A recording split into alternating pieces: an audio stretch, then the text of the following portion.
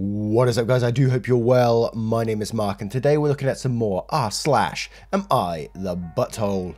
If you'd like to skip the initial waffle, timestamps are in the description and along the timeline below, so please feel free to do so. But if you are new here, please consider hitting that like, that subscribe and maybe that notification bell too, as it all really helps out our channel.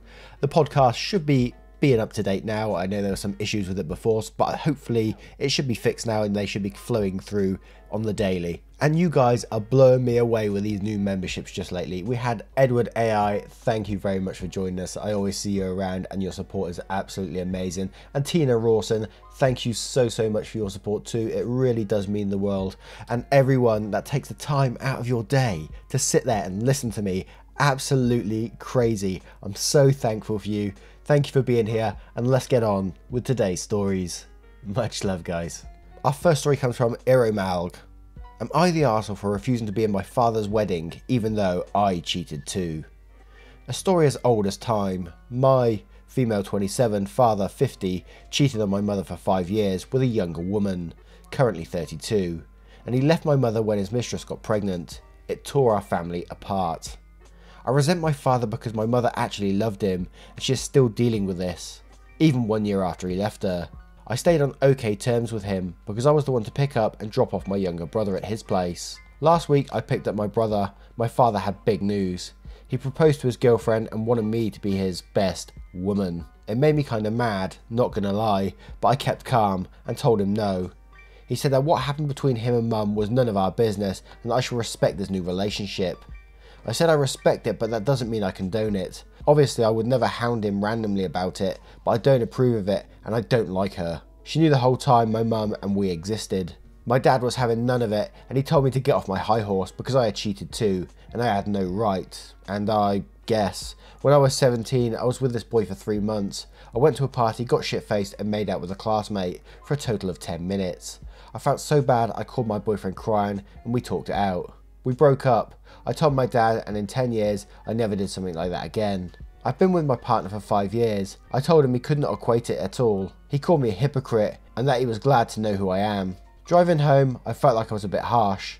He is still my father and he is not a bad father. I just don't want to be in his wedding. I would still go, but am I the asshole?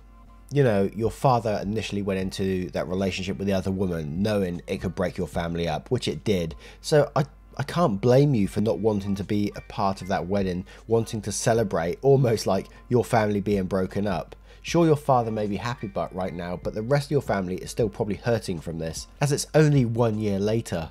And for him to compare a 17 year old kissing another guy at a party to a 50 year old cheating and sleeping with another woman and getting her pregnant is absolutely ridiculous. Sure, you can say like cheating is cheating and that's that, but at the same time, in life, you transition from a child to an adult. I don't think 17 year old is quite an adult yet, and we all make stupid mistakes in our life, and she admitted it straight away. Whereas this father was clearly cheating behind the wife's back, got her pregnant, so it was it was more malicious than just than just a silly kiss, you know. So I'm personally going to go with not the arsehole in the story, but I'd love to know your thoughts as well.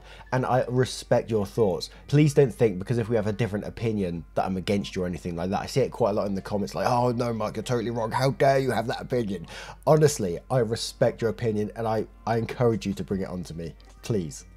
There's been many times when I've read a comment and thought, oh yeah, that's right, and it's changed my opinion. So I really do encourage it. But let's go down to the comments below to see what we can find. Eat More Unicorn said, Not the arsehole, you kissed another guy once when you were still a kid. Your dad hid the fact that he's been screwing around another woman, did it for five years, and knocked her up. The situations aren't even comparable. Your dad is trying to manipulate you by saying, You cheated too. The situations are not the same. He's the arsehole. Arsehole in Wonderland says, great name. Not the arsehole, you were 17 and made a drunken bad decision for 10 minutes, then felt horrible about it. He was in his 40s with a wife and children, made a calculated horrible decision for 5 years and doesn't seem to feel bad or accept responsibility. Not the same thing at all. Banned X amount of time says, not the arsehole, it's perfectly reasonable not to want to support the relationship that your father broke your family with. And there's also no comparison between a teenager hooking up with someone at a party and a grown ass man betraying his family. Tell your dad where to stick it. Oh. Howard Project says, not the arsehole. The difference between what your father did and what you did is similar to the difference between a four year old kid grabbing a candy bar in the store and getting caught versus a grown ass adult holding the place up at gunpoint. Not only is he an arsehole for deliberately cheating and hiding this from your mother for years, he's also a manipulative arsehole for attempting to make you think that what you did was in any way comparable to what he did. Now, I turn it to you guys. What do you guys think of the story? Let me know in the comments below and don't forget to vote on that poll in the description for story 1. Lady Ashara says, Am I the ass for yelling at my neighbour because she called CPS on my husband? A little background. I, 32 female, live with my husband, 33 male, and our two children, Jake, 6 male, and Amy, 3 female. A young couple, probably in their early 20s, are our next door neighbours. Two weeks back, my husband took Jake and Amy to the park nearby. Ideally, I would have gone too, as it's easier to manage the kids when we're both there, but I had important office work that day, and husband had a day off. Jake wanted to use the swing, but husband forbade it since he was alone with the two of them and said they'd just walk around. Sometime later, Amy got a pebble in her shoe or something and he sat down on the bench to check it. He specifically asked Jake to stay beside him, but Jake, I guess, really wanted to swing, and seeing his dad's attention elsewhere, decided to run for it. He was trying to go too fast, lost his balance, and fell. All this happened in a matter of seconds. That was it. They came back home, we talked to Jake about it and told him why he was wrong, and we moved the fuck on. Imagine our surprise when CPS, or the equivalent to CPS in our country, we don't live in the US, pulls up at our door and says that they've been given reports about how my husband was a negligent parent and how he put Jake's life in danger. They mention the park incident where, according to their version, my husband totally forgot about Jake and that led to Jake seriously hurting himself. There were no serious injuries, he had minor scratches on his hands and knees. Obviously, they did not find anything wrong. Didn't tell us about the identity of the reporter though. Husband mentioned that our neighbours were present that day in the park, and later when I asked, the woman confessed. She even went on to say that my husband was almost abusive and that she was just looking out for Jake. Why do I believe my husband's version and not hers? Well, firstly, he's my husband and I trust him, and also because Jake confessed he disobeyed his dad. I was super mad at this, and I generally don't get that angry, but she was accusing my husband of being abusive. She called CPS on him. I yelled at her that she didn't know shit about anything, and she was just trivialising abuse and parental negligence. She cried, and I told her to fuck off. Her boyfriend thinks that she was just mistaken, and I should forgive mistakes. Am I the asshole? I think the problem with that mistake is that it can have such severe consequences. You know, I've heard stories in the past where a child has had CPS called on them and then they say something stupid to them and it makes them look closer into their lives and actually ruins lives because it puts such stress on the families that the married couples are broken up because of it. Sometimes the child has to be taken away for interviews and all this kind of stuff. So absolutely, it, it can destroy lives. And I, I've personally seen this as well. And we're going to head straight down to the comments with this one. Starting with Karis Vaughan, not the asshole. That type of mistake could destroy families' lives. A child running off while a parent is distracted by another parent is normal behaviour. That neighbour needed to mind their own damn business. Now if true abuse or neglect was ongoing, I would support it. But a kid being a kid, good on you for standing up for that one. Aja444 says, to forgive her mistake, she needs to call CPS and rescind her statement. She needs to say, I overreacted and if I can write a letter or anything that will undo what I did, I'd like to. For her to say he was almost abusive is to say he was not abusive. I'm a dad and I'm probably almost abusive all the time. For example, I feed my kids vegetables, but the vegetables are next to the napkins. And if you think about it, I'm almost feeding them napkins just about every day. Smart Improvement 143 says, Not the arsehole, I wish people would stop calling over dumb crap. Kids trip and fall over their own feet. Don't call. Parent pushes kid making them trip and fall. Call. Charlie DeFinney says, not the arsehole, what your neighbour did could have had severe repercussions on your entire family. This kind of stuff happens with young kids all the time. Your son wanted to play on the swings, so he took the opportunity of his distracted father to do so. Calling the equivalent of CPS on you should not have been her first reaction. You could have lost your kids and your husband could have ended up facing possible prison time, depending on your country. If she was that concerned about the well-being of Jake and Amy, she could have taken you aside later in the day and addressed the issue with you first. Now, I turn it to you guys. What do you guys think of this story? Let me know in the comments below and don't forget to vote on that poll in the description for story 2. Our next story is from Why is all the stuff gone? Am I the arsehole for smoking in my house around a pregnant woman? Am I the arsehole for smoking in my house around a pregnant woman? I, 21 female, and roommates with another guy from college, 21 male, for about two years. We are both really chill and never had any problems. We have both stayed away from hard drugs, but we do drink alcohol, smoke cigarettes, and smoke weed. We have hosted some wild parties in this house. We didn't host parties since Aunt Rona came to town, but we both continued to smoke cigarettes and weed in the house. Neither of us had a problem smoking anything indoors, and neither did our landlord.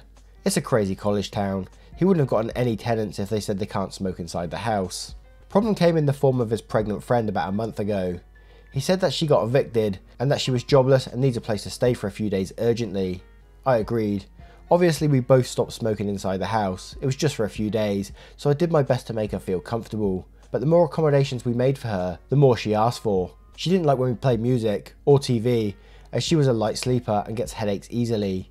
The smell of meat makes her nauseous, so we can't cook or eat meat inside the house. Me and my friend just went to the roof when we felt like having a smoke.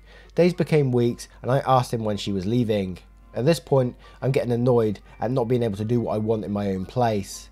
He told me he's telling her nicely to leave without saying, get out, but she keeps either begging for some more time or starts crying and he backs out. Weeks became a month and I had had enough. Since yesterday, I've started smoking inside the house. I mean, it's not like I deliberately light up when she's in the room.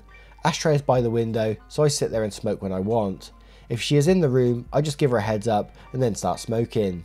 I've also started watching Netflix on the TV when we don't have classes and started cooking meat in the house again. Yesterday night, she yelled at me how an inconsiderate bitch I was, and I reminded her that it's my place, and unless she paid rent that I didn't know about, she doesn't have a say in what I can or what I cannot do. My roommate is really nice and he's tried his best to help a friend out. He isn't the father, but even his patience is wearing thin and he supported me. We aren't going to throw a homeless and jobless pregnant woman into the street, but I am also done with making adjustments to my way of living for someone who doesn't even pay rent. She found a way to be okay with how me and my roommate live, or she can find another place to stay. So, am I the arsehole? Edit, please read, hey guys, we've decided to ask her to leave whether or not she has things figured out. She has to leave in a week. She gets recognised as a legal resident if she stays for more than 4 weeks, and me and my roommate really don't want that to happen. I do feel like an ass for this, but not enough to house a person, plus maybe their baby indefinitely. You know, we've seen situations like this many times on, on this channel, and it always sort of comes down to you just need to give that person a deadline. They're entitled, they're inconsiderate, they need to be given a deadline to get out immediately. Obviously, at the end there, you're having to give them a deadline anyway, simply because if they're more than four weeks, they're becoming a resident in your house. So yeah, they are the asshole. But I also, I, I might get shot for this one as usual, but I also think that you're the asshole in the situation for choosing to smoke in front of a pregnant woman yeah, I know she's being entitled, but it's not the child's fault, is it? It's not the child's fault, and it could potentially endanger them. I don't know. I don't know all the ins and outs of smoking around pregnant women and how bad it can be, but it certainly can't be a good thing, right? So my verdict on this one would be, and everyone sucks here, simply because everyone does suck here. And that includes the friend who brought her in the house. I knew he was doing a good thing to begin with, but then he's not given her any any indication of when she's got to leave or anything like that. And he's being very weak on that, especially when he brought her into the house, you know. You've got to deal with that. Just deal with it. Come on. Let's go to the comments below to see what we can find. Everyone sucks here. She needs to stop taking advantage of the situation. You'll need to be real blunt with her and give her a specific deadline. And you need to stop behaving in a passive aggressive way because you're frustrated. I get it, you should be able to do what you want in your own space, but this isn't something that only has an impact on you, and you know that. Don't be childish and harm the baby because you're fed up. Tell her exactly when she needs to be out by. RD Rock says, everyone sucks here. She's an over-controlling, inconsiderate, entitled mooch. But I love mooch. But don't endanger an innocent child. It's not their fault their mum sucks. It would have been fine if you did all the other stuff that she forced you to stop. But the smoking thing is taking it a little too far. I'm sorry you're stuck in this shitty situation. Fruity Nutcase says, not the arsehole, I do hate smoking indoors, but since your place is allowed, no problem. Also you waited, respected. Other demands were ridiculous. Smoking was reasonable to do outside. She's not a resident, you expected her to stay only a short time, and now she seems to think she's living there fully. I think it's time to really say it to her face to get out, aloud. She's a guest, and it's about time she finally actually goes to live somewhere else. Poor baby though. Sage Nonsense says, You're the asshole. If you want her to leave, tell her to leave, but don't endanger the health of an infant because you're bitter. Lakasak says, Everyone sucks here. She's an asshole for obvious reasons, but so are you. Dude, if you want her to leave, then just grow some backbone and tell her she needs to move out. Smoking around her could really fuck up the baby, and none of it's its fault. Now I turn this story to you guys. What do you guys think? Let me know in the comments below and don't forget to vote on that poll in the description. And our next story is from Skink Mantin. Am I the arsehole for not allowing my eldest daughter, 24 female, to come stay with me in my new big house after she was kicked out by her boyfriend? Well, my ex-wife and I divorced 8 years ago. She had an affair and left me for the AP. I know I was a crappy husband back then. I was an alcoholic and I was verbally abusive. And two years before we ended our marriage, I stopped drinking. I picked my shit up and tried doing my duties as a husband and started going to MC, but it was all for nothing. My eldest daughter, however, still chose her mother over me, even with after the betrayal. The other two daughters didn't pick any side and maintained a healthy relationship between us. The divorce, of course, was nasty. She got the primary custody of the kids, got to keep the house, and I had to pay the child support, but no alimony was awarded. A few months later, I lost my job. I was unable to pay child support, and I was constantly arrested and put to jail for about three and a half years. And my daughter, together with my ex wife, liked to watch me suffer. A year ago, my parents died, and since I was their only child, I inherited their wealth, although not much, but still enough. A few months ago, I got a new house. My youngest daughter, who is 18, has been staying with me. Their mother moved into another country with the AP. My eldest daughter broke up with her boyfriend and she was kicked out of their apartment they shared. She asked if she could stay in my house and I refused and told her to call her mother to come get her. Lol. Later my ex-wife calls me saying I'm the arsehole for not wanting my daughter to stay with me and that is unfair because her sister is staying in my house. I have to admit, I do feel guilty, but she's also an adult and can sort her shit out. But am I the asshole here? My daughter is introverted and suffers from anxiety. Edit, I tried for years to have a normal relationship with my daughter. Even tried to ask her sisters to have a normal healthy relationship, but just like her mother, she treated me like shit throughout the years.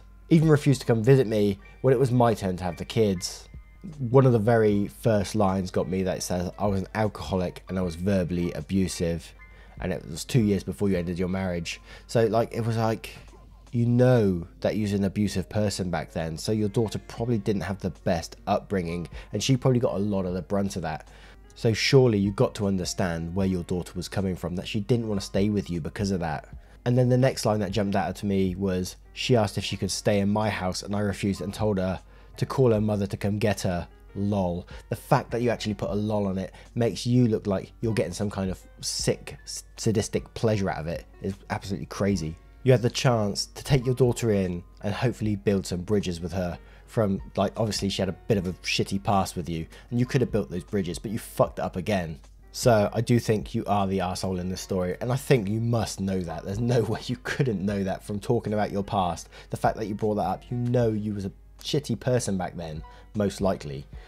Ah, so let's go to the comments below to see what we can find. Moongirl12 says, You're the asshole. You're abusive during your daughter's formative years. Her choosing her mum over you is the consequence of your decisions. Regan X says, You're the asshole and you know it. Don't underestimate how traumatic your alcoholism and verbal abuse was for your daughter. She was 14 when you stopped drinking. Of course she sided with her mother after seeing what you put her through. You should be ashamed of yourself for your behaviour when she was a child and trying to make amends however you can, not rejoicing in her misfortune and in your ability to deny her the help she has asked of you. This was your chance to show your daughter that you had changed for the better and to prove that you could be a loving, supportive father. You threw it away out of spite. Dismal Dog says, You're the arsehole and quotes, LOL. Duchess Pipsqueak says, You're the arsehole, but not for refusing to let your kid come live with you. You're the arsehole because you're conveniently ignoring years of abuse and expect everyone to just be okay with what you did in the past because you've changed. That's not the case. Your marriage fell apart because of your abusive attitude and drinking. Her cheating sucks, but by the time you figured out you needed to change, she already moved on. That's on your years of inaction and jerky behaviour. A person can only take so much. Your daughter witnessed all of this and is clearly having issues forgiving, and who could blame her? And now, the one time she needs her dad, he's once again being a self-righteous asshole and proving that you're not so different than before. Still an asshole, just a sober one now. You seem to be playing the too little too late game and adding victim to the mix. It will take years to repair the damage you did prior, and even longer since you keep adding on to it. Eventually, all your children will see you for who you are and reject you, if you don't change, you'll be very alone one day. And I think that is the best response we're going to get on that story. And I, I can only totally agree with it. That guy is going to end up very lonely the way he's treating his daughter. The whole too little, too, too late game is absolutely true. Ah, oh, my word. Now I turn it to you guys. What do you guys think of this story? Let me know in the comments below. And don't forget to vote on that poll in the description. Once again, guys, thank you for being here. You're truly, truly appreciated as always. The, taking the time out of your day to watch these videos. It's still crazy to me. Thank you so, so much. And I will see you in the next one. Take care, guys. Much love.